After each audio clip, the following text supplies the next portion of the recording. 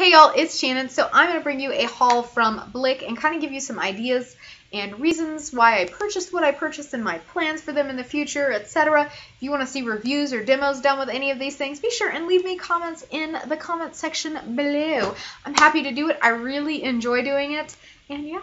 So the first thing I got is some pastel paper from Strathmore. I really have been enjoying my pastel paper from Mi-Teintes, from Canson and this is just another kind of pastel paper. This is an 11 by 14. These are 80 pounds.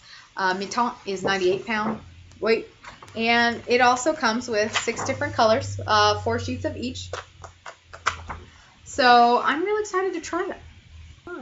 Then I got a new water brush. I've been using the Royal and Langnickel little three-piece set you buy for like $6 at Hobby Lobby. And it worked out okay in the beginning.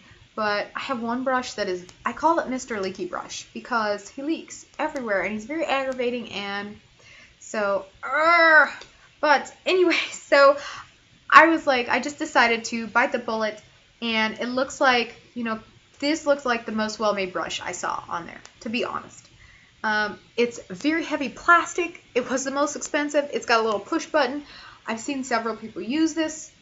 I wanted to try it. So, and I had a coupon.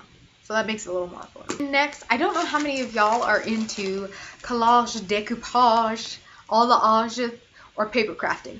But um, Black Ink is a company uh, that makes, an international company that makes paper. They call themselves Creative International Papers. Uh, Black Ink, Creative International Papers. That's what it says underneath there. But I really like the papers. I thought they were beautiful. They have some great designs and I like the collage, but I wasn't quite ready to make that investment because it's like anywhere from like $3.99 to $9.99 a sheet. And if you order from Blick or Jerry's or Cheap Joe's or any of them, you have to order 10 sheets. Now, granted, the sheets are 22 by 30, but you got to order 10 sheets. And if on average the price is $5.99, that's a $60 investment. And I kind of thought I would like it, but I have I'm really hesitant to make a $60 investment. So on paper like that. So when I saw they had the alternatives and have what they call scrap packs, I was like, yeah. Now, it will say in the description that every scrap pack is different because what they do is when they're done cutting the paper, any scraps left over go in scrap packs. So every scrap pack is slightly different. And the scrap pack that was shown on the sample is not the one you're going to receive. It's not the one I received. And I saw a lot of people write kind of like negative reviews on the scrap pack because of that. And I'm like, dude, it's a scrap pack. The other thing is, they said that the size of the papers were too small. And I'm like, again, dude, it's called a scrap pack. So I'm really happy with what I got. Some people were also felt like they should have gotten pattern paper. And again, it's a scrap pack. You're never going to know. It's whatever they're cutting that day. So this one actually has patterns. It's beautiful. Can you see all the texture in some of these? This one is mostly solids. And again, it's all different kinds of paper. I'm so excited to collage with this and then paint over and see what happens and just get all that texture from it. I think these are going to be super, super, like, fabulous. Next thing I got is from Caran d'Ache. These are some open stock Caran d'Ache watercolor crayons. I got 11. So these 10 would be in the spring limited edition set available on Blick. However, when I went to purchase these and use a coupon, the coupon did not apply to the limited edition 10 piece set. And it did apply to open stock. So I was like, well, that's ridiculous because it was cheaper to just buy 10 open stock. And then I happened upon this color called and I'm sure I'm not going to say it right, but I think it's called Gentian Blue, G E N T I A N. So, and I was like, ooh, I need that too. So, it actually worked out cheaper to buy these 11 colored crayons than it would have to just buy the box of 10. So, I'm happy with that. And I already have some open stock Caran d'Ache color crayon, watercolor crayons I really like. The next thing I purchased is from Derwent. I love Derwent. You know it. I know it. We know. It's a great brand. So these are the metallic pencils. I have had my eye on these for literally years. Literally years. But they're $30 retail. And in general on Blick they've been $15. Coupons don't apply to these. Let me just go ahead and say that. Coupon did not apply to this.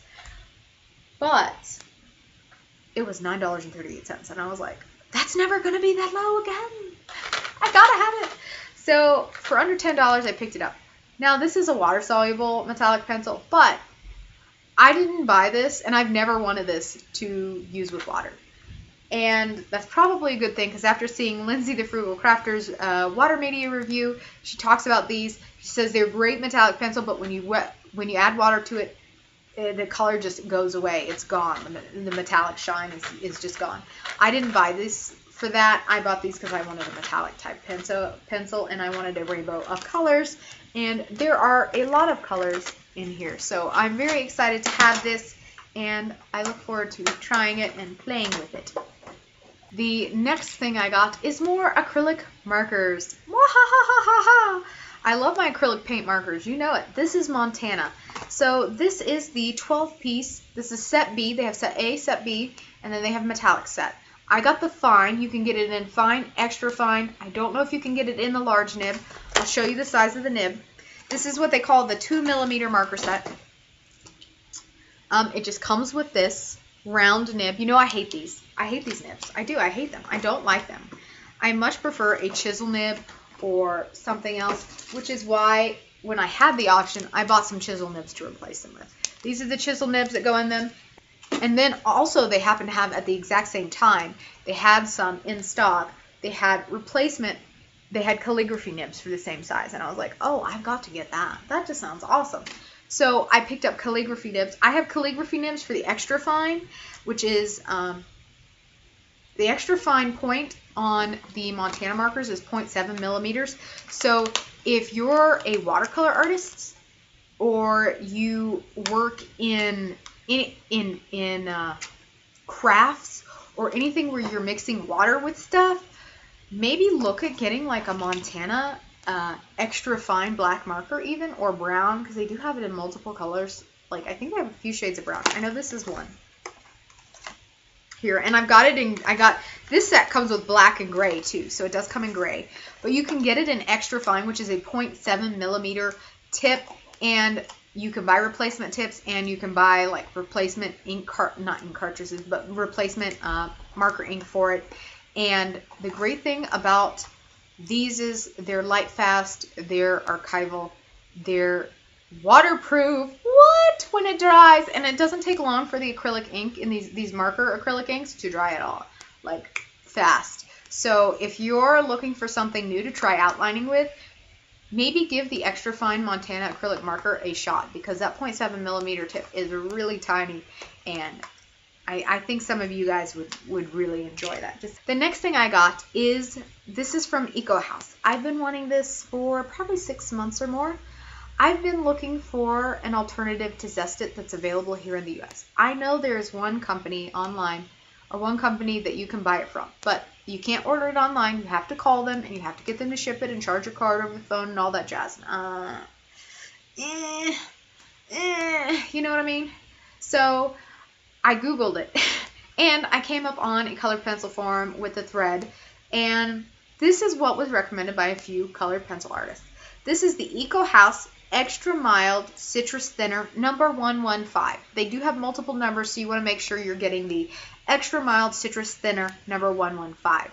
This was $4. I had a coupon. I think it was 6 before. I'm really excited to try it. If you read the instructions, when you read the ones for odorless mineral spirits, even Turpenoid and turpentine, you need to be in a well ventilated area. This one, it just says extra mild, low toxicity, solvent, thinner and brush. Basically, it says you have to have adequate ventilation, which means if you're in a room like this, your living room, or like a room room, not like a, but like a good sized room with decent like regular like ventilation, this is going to be fine. So this is a good option. It is toxic if you drink it. It is made from orange peel oil, yeah, orange peel oil, and it definitely smells like oranges. So it can get a little on the orange side if you know, you know, it's pretty strong orange scent. So if you don't like that, it's probably not for you. But I think it's, I'm hoping it's going to be a really good alternative for me to use instead of odorless mineral spirits. And the next item I got, I'm excited about. I'm excited about all my items. So this is from Triart. Triart is a Canadian brand, and I haven't gotten anything from them before, but I really, they have some things I really want to try. But I got this as the TriArt Gesso Sludge. So I'm just going to read you what they say. So TriArt Gesso Sludge is made from recycled pigments harvested from our washing process. It is an excellent barrier ground with the same flexibility, strength, and adhesion qualities as a finest grade gesso. Each batch will vary in tint and granular content, which makes sense if you think about it because basically they're recycling their leftover pigments from when they've washed and harvested and made like paint or whatever. And so they're all some shade of gray, but the tint of the gray is going to change. So it could be warmer, it could be cooler, slightly bluer, slightly redder, whatever. But what I was really excited about this about it is that it's gray. So it's basically like you're priming your canvas and you're toning it at the same time. I love that idea. I, that's brilliant. And for all those hippie tree huggers out there, this is probably a good alternative for you to try. It's pretty reasonably priced. I've also read that this is a very liquidy gesso, which personally is what I like. I really am excited to try this because it's toned already. Ah! The next thing I got is from Cretacolor. So I don't know if my water media review for Cretacolor is up or not, but I got a Cretacolor Water Media 10. I think that's what they call it. And it had like four or five different Cretacolor water water media products basically. One of those being the AquaStic, which is a water soluble artist grade oil pastel. What? Yeah, exactly. Awesome, right? Uh, need I say more? Probably not. But I'm going to. So I'm really excited. This is the metallic set. I really love metallics. I'm sure you've gathered that with the metallic pencils already. But I love Cretacolor. I think it's a really good brand. I think it doesn't get enough love as often as it probably should. It's an Austrian brand. It's been around for a couple hundred years. These are the metallics. One reason I really like these is that you can layer on these. So I watched a water media review by Lindsay the Frugal Crafter, and she talked about the portfolio by Crayola.